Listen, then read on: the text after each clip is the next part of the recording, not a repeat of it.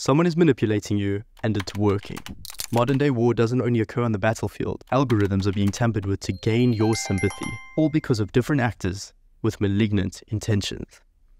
When it comes to information war, it's easy to forget that the opinions circulating publicly can genuinely affect people's lives. Since October 7th, cybersecurity experts have identified several coordinated campaigns with tens of thousands of bots or fake accounts linked to the Hamas terrorist organization. Terrorists filmed the massacre of Israeli communities and broadcast the graphic images on platforms through sock puppet accounts to amplify exposure. Hamas then began to delegitimize Israel and convince the world that all the incriminating evidence is false. Experts were surprised at how fast and far wide Hamas's messages spread online. The disinformation spread like wildfire.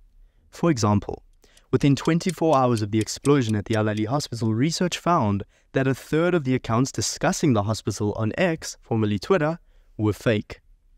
These accounts spread Hamas's false narrative, claiming Israel had struck the hospital and killed hundreds, when in reality, the Islamic Jihad launched the misfired rocket.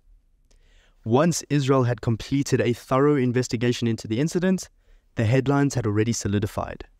Unfortunately, Hamas succeeded in manipulating the public. Disinformation has brought even verified facts into question. Be aware of this when you read the news.